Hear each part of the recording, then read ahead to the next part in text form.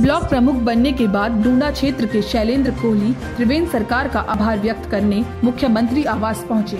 नवनिर्वाचित ब्लॉक प्रमुख शैलेंद्र कोहली ने बताया कि त्रिवेंद्र सरकार द्वारा युवाओं को राजनीति में आने का मौका मिला है। उन्होंने बताया कि क्षेत्र की जनता और क्षेत्र के लिए वे हमेशा निष्ठावान रहेंगे।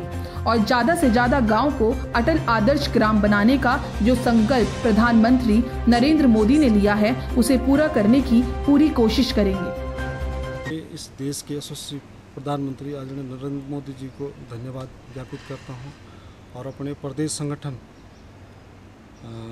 प्रदेश अध्यक्ष आदरणीय अजय भट्ट जी और इस देश के सॉरी इस प्रदेश के यशस्वी मुख्यमंत्री त्रिवेंद्र सिंह रावत जी को कि जिनके कुशल नेतृत्व में इस देश में युवाओं को मौका दिया जा रहा है तो मैं इस संगठन का आजीवन आभारी रहूँगा कि इन लोगों ने हमारे ऊपर एक विश्वास जताया है कि ये कुशल नेतृत्व का ही परिणाम है, हमारे देश के प्रधानमंत्री का ही परिणाम है, जो हम लोगों का राजनीति में आने का मौका मिला। हमारे जो केंद्र की सरकार हो, चाहे वो राज्य सरकार हो, विकास तो बहुत अच्छा चल रहा है लेकिन रही बात हमारे ऊपर भी वो नेतृत्व करता है कि हम किस प्रकार का विकास करते हैं। इससे पहले जो पूर्व में हमारे ब्लॉक प्रमुख रहे हो चाहे अन्य नेता रहे हैं ये लोग विकास पे भी ध्यान नहीं देते हैं।